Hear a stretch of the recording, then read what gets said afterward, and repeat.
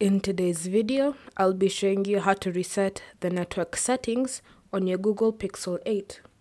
So first, what you want to do is open settings and under settings, sorry, let me get back to the settings menu. Under settings, scroll down until you find system. Next, scroll down again until you see the option reset options. So tap on that. Then here you should see two sections, reset mobile network settings and reset Bluetooth and Wi-Fi. So with the Google Pixel 8, it's split into two sections. So you can reset mobile network settings without having to reset any Bluetooth or Wi-Fi. So it makes it easier if you don't want to delete, delete certain details. For example, if you want to delete the Wi-Fi and the Bluetooth settings, then you won't have to also delete mobile settings.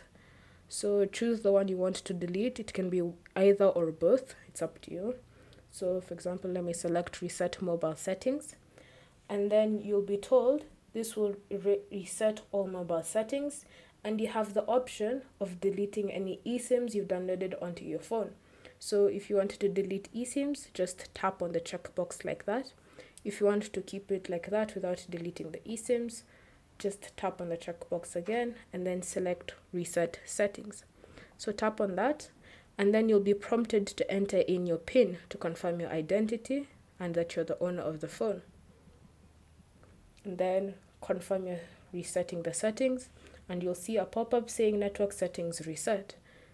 So this means that your mobile network settings have been reset and you can come back to Bluetooth and Wi-Fi and then you can also reset them if you want. Thank you for watching. If you have any questions or comments, leave them down below and we'll get back to you.